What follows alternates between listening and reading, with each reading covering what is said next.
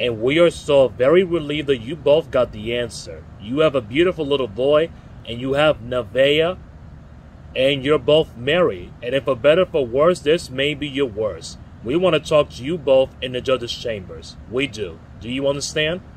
Meet us there. Court is dismissed. And I'm glad that we were able to get any closure and clearly on the paternity issue as it relates to Keith Jr. Then we, you guys can move forward together on that note.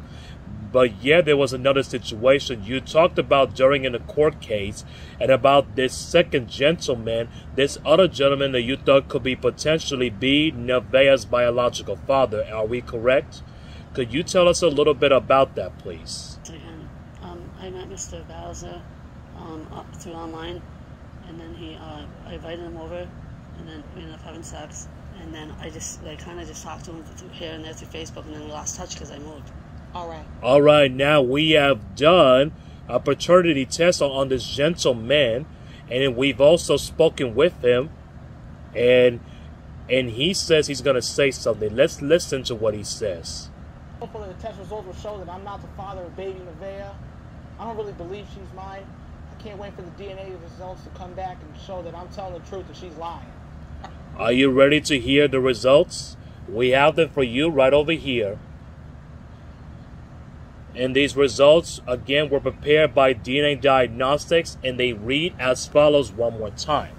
In the case of McCoy versus Bowser, when it comes to three year old Nevaeh McCoy, and it has been determined by this court that Mr. Bowser is not her father at all.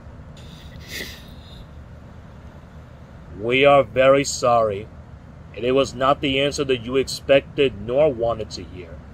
Let me just say this about you, Miss McCoy there is a part of you that wants to just get this answer for your beautiful little girl. And that's why you're going through this. And I have to say, and I commend you for loving your child that very much. And in the meantime, Mr. McCoy, you are going to be a best her example and what a dad can be. We say in this courtroom all the time. And it takes DNA to be a father, but it takes love to be a daddy.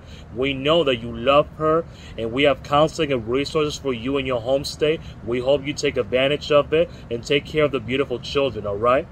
And then work on the marriage. And we wish you the very best of luck. Thank you. Mm-hmm.